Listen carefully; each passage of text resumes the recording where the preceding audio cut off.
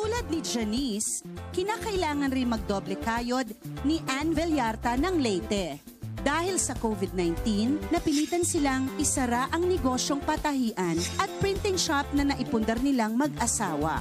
Una siyang tumanggap ng mga order na face mask na kanyang tinahi-tahi mula sa mga retaso sa kanilang patahian. Mas dumagdag ang aming kita, naisipan kong magbenta ng mga pagkain online. Pero dahil kapos pa rin, ang ilan sa mga ito ay nilalakdo namin dito sa aming barangay. Sa umaga ay nagluluto siya ng mga itinitinda na kinahapunan naman ay kanya ding inilalako. Nakakapagod man, batid ni Ann na kailangan niya ang doble kayod para sa gastusin sa araw-araw. Sa hirap po ng buhay, lalong-lalo na may dalawa kami anak.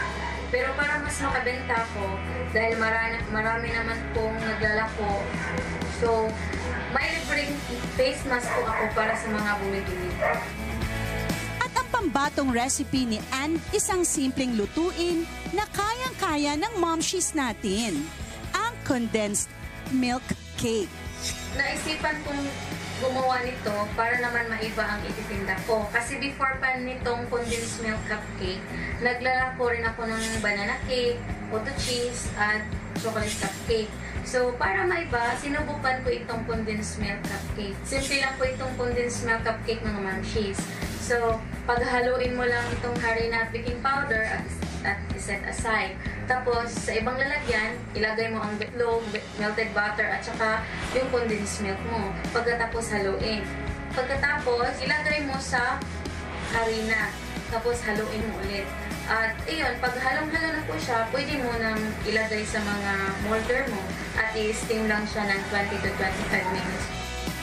Ang simpleng reseping ito para sa doble kayod na paglalako ni Momshi Ann susubukang gawin ng ating Momshies. At sabayan nyo rin kami. Suso.